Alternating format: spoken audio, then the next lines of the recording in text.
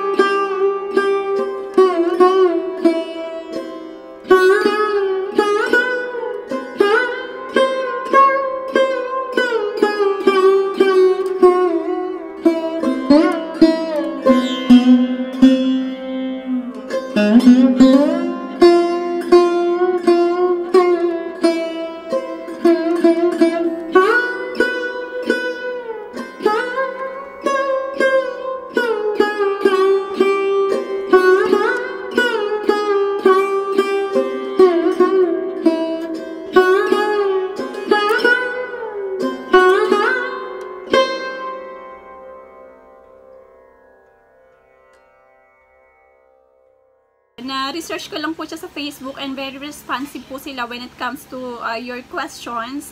Uh, i-message nyo lang po sila, mabilis po silang sasagot sa inyo.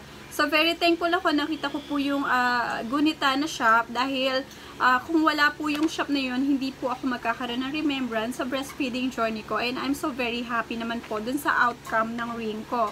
So, just in case gusto nyo magpagawa, pwede naman po ninyong kontakin siya and research nyo lang po sa Facebook yung Gunita shop. Uh, yun po. So, itong uh, video na to, hindi po siya sponsored. Uh, gusto ko lang po i-share para doon sa mga mommies na gusto po nilang magkaroon ng remembrance.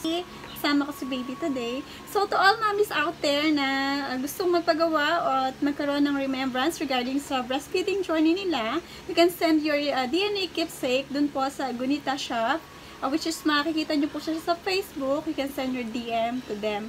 And also, kung ano po yung klase ng DNA keepsake na papagawa ninyo, pwede pong uh, isama yung hair strand ni baby, hair strand ni daddy, and also yung uh, pinaka-importante, yung breast milk niyo po. Yes, daddy. Yung breast milk niyo po. Eh, hi, baby.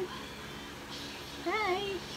Ayun guys, so to all mommies out there na gusto pong magkaroon ng remembrance regarding sa breastfeeding journey po nila, you can send your DM to Gunita uh, through Facebook po.